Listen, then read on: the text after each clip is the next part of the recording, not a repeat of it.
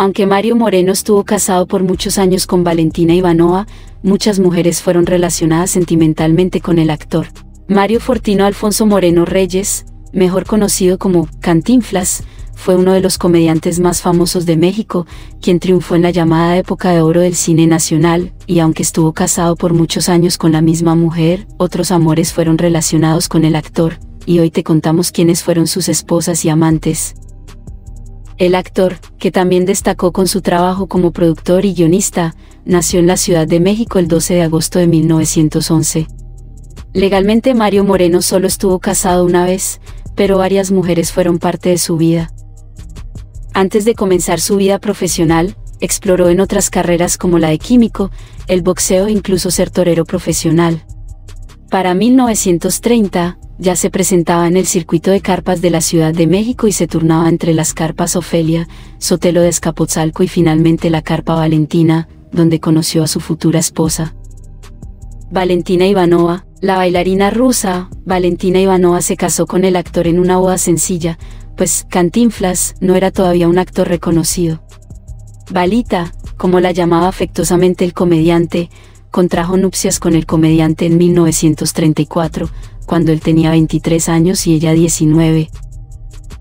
Mario Moreno y Valentina Ivanova se casaron en 1934. La pareja se conoció cuando el también conocido como el Charles Chaplin mexicano era un joven actor de las carpas, pues los padres de Ivanova eran los dueños de uno de los lugares en que trabajaba el cómico. Su amor duró hasta 1966, cuando ella murió de cáncer óseo. Pero el éxito de Mario Moreno vino con un sinfín de rumores sobre supuestas relaciones extramaritales juntos adoptaron a el único hijo del actor, Mario Arturo. Aunque los padres de este niño oficialmente se registraron como desconocidos, hay rumores que señalan como su madre era una de las amantes de Cantinflas.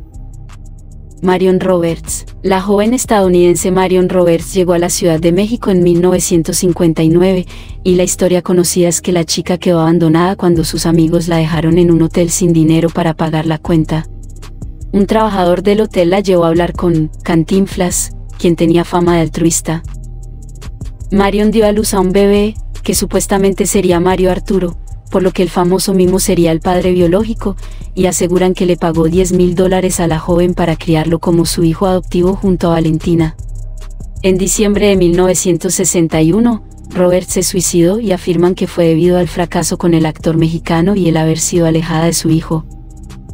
Miroslava Stern. La guapa actriz fue coprotagonista del cómico en la cinta A Volar Joven, filmada en 1947, y siempre abundaron los rumores que la vinculaban en un romance con Cantinflas, aunque él estaba casado, razón por la que decidió no continuar con la relación. Muchos creen que el final de ese romance fue el motivo por el cual la bella actriz de origen checo decidió acabar con su vida, a pesar de que estaba en la cima de su carrera, el propio Jacobo Zabludovsky afirmó en una entrevista que Miroslava se suicidó por el rechazo del comediante.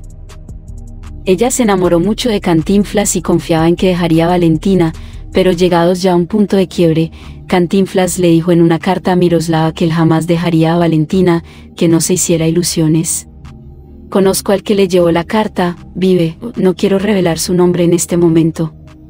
Al día siguiente la encontraron muerta, Irane Ori. En 1962, Cantinflas conoció a la bella actriz Irane Ori en la filmación de Por mis pistolas, pero la relación entre ambos comenzó hasta después, cuando Valentina ya había fallecido.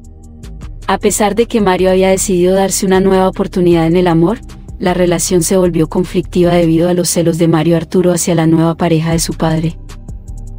Irán decidió seguir adelante con su carrera y acabó con el romance, pero en muchas ocasiones fueron captados juntos y se convirtieron en la pareja del momento, pues ella era una estrella en las telenovelas, y el comediante ya contaba con una gran fama.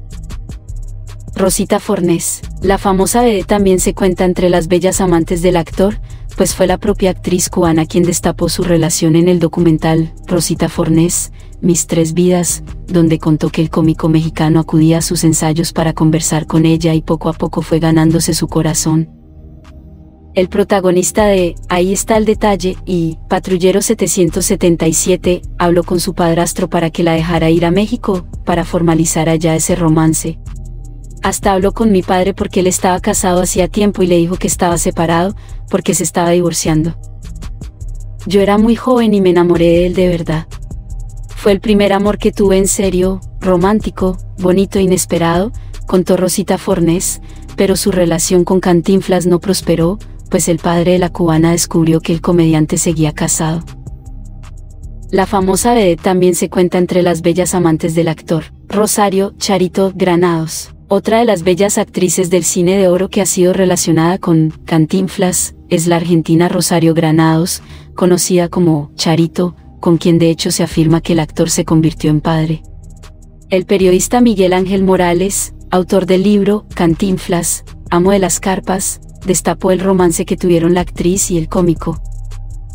Morales afirma que la pareja tuvo un hijo de nombre Mario Figachi Granados, el cual no fue reconocido por Mario Moreno.